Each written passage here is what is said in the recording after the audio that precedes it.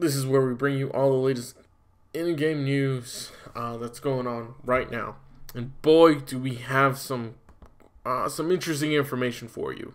First and foremost, we're going to be mentioning some games. Now, I know what you're thinking. What? What do you mean you're just going to be mentioning some games? Well, yes. Well, this is something that I'm going to be trying to do every time uh, we have gaming news in order to, well, keep you guys informed about all the games that are coming out, things of that nature. There are games that come out that you probably haven't heard of because PlayStation or Xbox or anyone else hasn't really been talking about them. So, for the most part, this is actually what I'm going to be doing. So, here it goes. A uh, Story of a Gladiator is an actually a small little title, indie title. It doesn't cost that much money actually. Uh, I believe in pounds, it's like 10 bucks, but it is available on place uh, in the U.S. and it's only 10.99. Uh, he's here's actually the page that I have for you guys right there, ten dollars and ninety cents. It actually comes with a very interesting things. So it's set in this world, uh, this gladiator uh, world it is not multiplayer, it is a single player experience. However, there are all these different uh, characters you can portray individuals as well. Different there's a there says there's only uh, three arenas with 36 battles and three bosses. That's not to say whether or not that all happens within one uh, arena or it's each arena has 36 battles and three bosses. But that's uh, kind of something that you know kind of should look forward to looking. Uh, but it says over 30 enemy gladiators and 20 animals, each with unique fighting strategy. So that alone is going to be uh, interesting to see. I wonder as well if this in itself, uh, the fact that they're all different colors, if that's going to, if they're saying those are different animals, because uh, I'm trying to think of what type of animals they could have, but it could be it's just a color variation of those animals. And as you can see, it looks like a little fun, uh, a fun little title for you guys to play. Um, like I said, it's not going to cost that much, but it has a lot of unique like stuff. It's roguelike mode available for those. Uh, yeah, I think it's something that should be fun, uh, entertaining for for anyone. Uh, gameplay wise, it actually looks like a fun little game that a lot of people would uh, most likely enjoy. And obviously, it has a story mode. Whether the story mode is. Whether that story mode. Ooh, got chills. Is good. I mean, that's. That's pretty much up to you to decide whether this is going to be a great story. But for the most part, it looks like it's it's pretty well done. It doesn't look like it's half-assed like most games nowadays and it looks like you would probably have uh, a really good time with this. But like I said, I haven't played this, but hey, you may be interested in playing this. Who knows? Uh, and yes, this is definitely doesn't seem like it's a kids title. So yeah, uh, you get to have pets. You can have your own pet and stuff like that. Uh, your own people to uh, to fight with. Uh, but that's yeah, that's something to kind of look forward to. And then I just wanted to bring that up uh, for you guys found out about it and I thought, okay, you know what? I think people might want to know about this. And hey, it's available as well as for Xbox One, PS4, Nintendo Switch, and PC. So there you go. Uh, now let's move on to the big news, which is apparently uh, the corporate director is leaving Kojima Productions. Now the corporate director's name, uh, as you see here, is Kenichiro Imaizumi. I believe I'm saying that correctly. Probably not, but who knows. Uh, but apparently, yeah, he's leaving. There's really not much information about why he's leaving. Not a lot of people even try to talk about it, but apparently he's been with uh, with Kojima for this is almost 20 years. That's really a long time. But from what people have saying from some sources, according to this article, is that he's leaving because of just uh, I don't know. They they just couldn't you know, I guess get along or uh, with other people uh, that where is it? Yeah, that that he just he couldn't really I guess get along with uh, these other other people that are making the game. Uh it says one source claimed it was due to a disagreement with Kojima Productions' other directors. So it could be that he didn't really like the direction that this game was going or what this game was gonna be, or probably didn't understand it. There's a lot of people that didn't really understand what Death Stranding was going to be or what it is. Uh, that's why there was just a bunch of mixed reviews. Kojima came out and said, "Oh, because people are interested in are more interested in like in American first-person shooters." I don't think that's necessarily the case. I think that's just a lot of people don't really understand what the game was meant to be. It's a, I mean, even with Kojima trying to explain it, it was still pretty unclear what the game was and what it was trying to be. Uh, he was saying there was a lot of you know connections and stuff like that, but in the end, there's still you know some questions people had, some questions that were not really answered. Um, but I think this is kind of something that uh, that may affect Kojima Productions. Uh, they're the guy just uh, just leaving. You know, the corporate director just leaving is not a good sign for the company. However, I mean, you still have Hideo Kojima uh, there, so and a lot of other people there. But if more people start to leave, then you actually might see you know, things change. But apparently, Hideo Kojima is also stated that he wants to be working on a horror game next. So that's something that he's going to be doing. And that's something that's going to be really interesting to see what direction he goes. Um, we already seen what he did with PT, the playable trailer. I still have it on my PS4.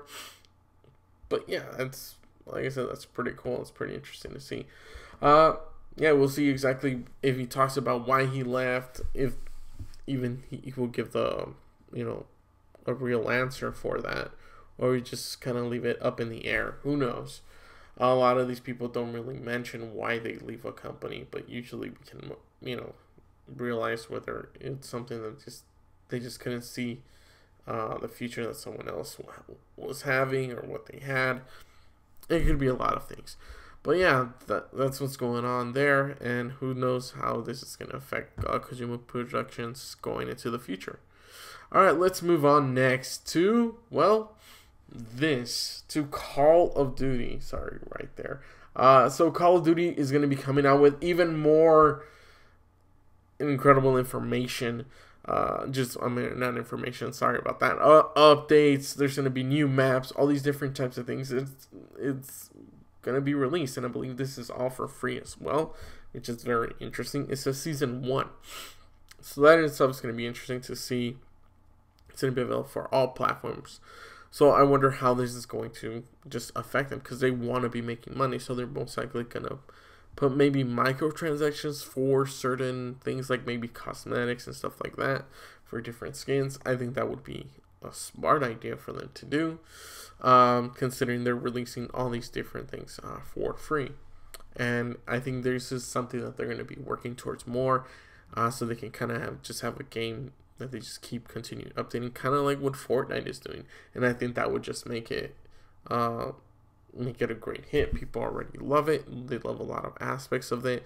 There is a lot of heat with the whole Activision Blizzard thing of everything that's going on, uh, as well as you know people just leaving Blizzard and all that.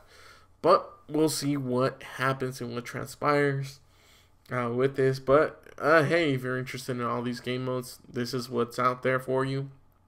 You got all these. You got some new maps. You got Crash. You got Vacant. Shipment. Those are all multiplayer maps. You got Port for Ground War. You got Cargo and Atrium for Gunfight. You also have new multiplayer modes. Reinforced Gunfight OSP. No idea what that is as well as Infected, which is an all-time great map. Uh, I mean, not map mode that people really love. New special ops experiences, Bomb Squad, Grounded, Pitch Black. Just these are all amazing. These are all just really great. New weapons. M7 Holger, no idea what those are. But if you guys do, let me know down in the comments below. And yeah, it's gonna be uh December third, season one. That's gonna be something uh to look forward to, seeing you know what's gonna happen. Uh, but yeah, that's pretty much all the info that we have, uh, that I have for for that for Call of Duty. And let me know if you're looking forward to that, or if you're gonna just pass and just not support them anymore. Uh, let me know in the comments below, and let's move on next to the grand, the Resistance, the main event, the final attraction, and that is, of course, uh, this, uh, which I titled uh, Xbox to be PlayStation next year. And the reason for that is because, from the looks of it in this article, you actually get to, you know, hear a lot from Matt Booty. Uh, and you get to hear a lot of just everything that Xbox is working towards. They're trying to make it as seamless as possible so that you can just literally play all your games. Like any Xbox game will be playable on the Project Scarlett when it gets released next year. Uh, that in itself is going to be very interesting to see, uh, especially because, well, uh, PlayStation is doing this whole backwards compatibility. However, there's a whole question of whether or not every game will be compatible or not, and what is actually going to transpire.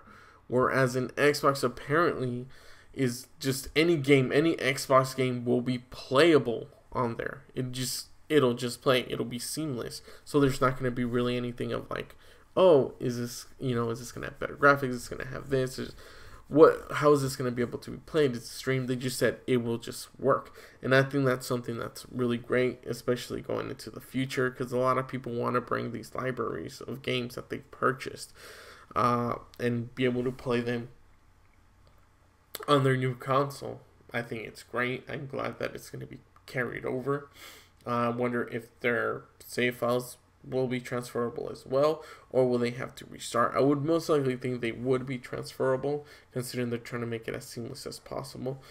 But we'll see once it fully comes out. And they have a, a large array of games, as well as studios working on games, on first party games, as well as third party games, third parties working on first party games for their consoles.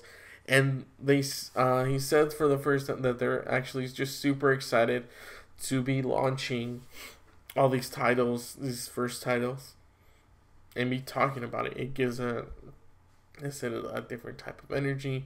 Uh, they have so many studios now, uh, first party studios. So now they have a wide range. That you know, having them come out this year, uh, some next year. It's not necessarily going to be like, oh, 15 games within uh, one year, but you can definitely expect maybe three or five. Uh, uh, at least once a year, which would be just instrumental to the amount uh, of games because a lot of people do want to play first party games. They want to have a reason uh, to purchase the console, and they're actually super excited about that. They're actually saying, you know what, we want to have like a large array of games available for you to play, uh, you know, on launch day.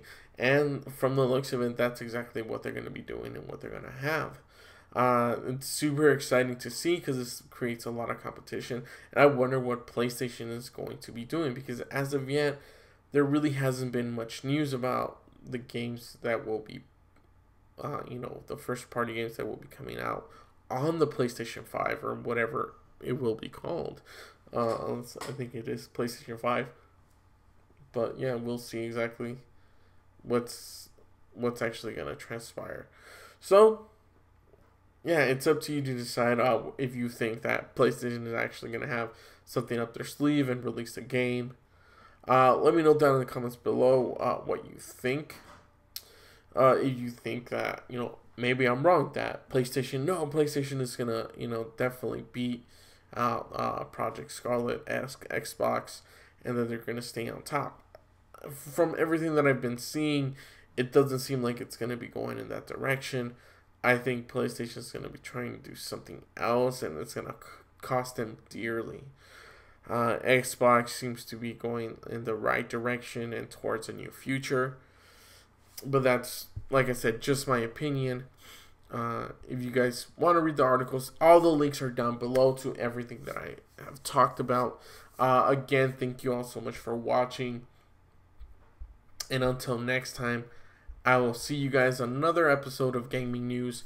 And for more videos, make sure to click over there and don't forget to like, comment, share, and subscribe. Visit my Patreon. Support me in order to be able to create more videos like this. I'll give you guys shoutouts if you like. I still have to update the Patreon and put that stuff. But yeah, I'll give you guys shoutouts if you like. If, uh, just donate, give money. you know whatever amount that you can, because uh, it would really help a lot in my life and just with everything in general. So thank you all so much for watching. I really do appreciate it, and I will catch you guys, like I said again, on another gaming news. Until then, see you guys next time. Take care.